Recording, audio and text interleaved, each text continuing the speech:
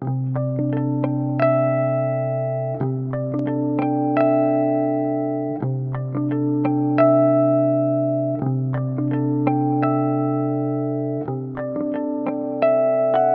morning, everybody. My name is Angela Waldron, and I am the Registrar at the Farnsworth Art Museum and curator of Transforming the Ordinary Women in American Book Cover Design, which is currently on view through March 21st, 2021. And the book I have for you today is one of the books in the show called The Open Road by Edward W. Lucas.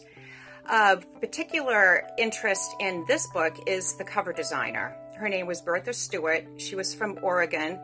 Uh, she was a uh, she attended the um, Chicago Art Institute as well as uh, Cooper Union, and designed some 175 covers during her career uh, for major publishers in the U.S.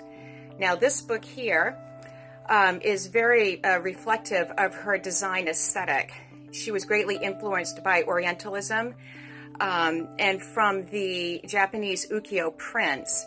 And you can see here um, her unique approach to perspective, where instead of leaving the center panel just for the title, she incorporates the branches.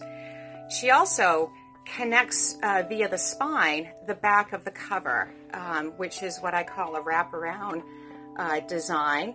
The publisher's mark is on the um, on the verso, and Stuart's monogram is here. This was also issued in a red cloth variant.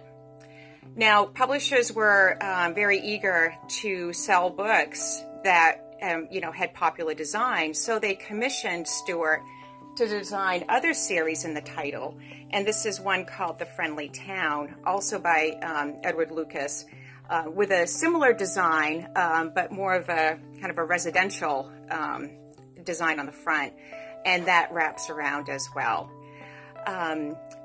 I hope that you have an opportunity to come and see the show.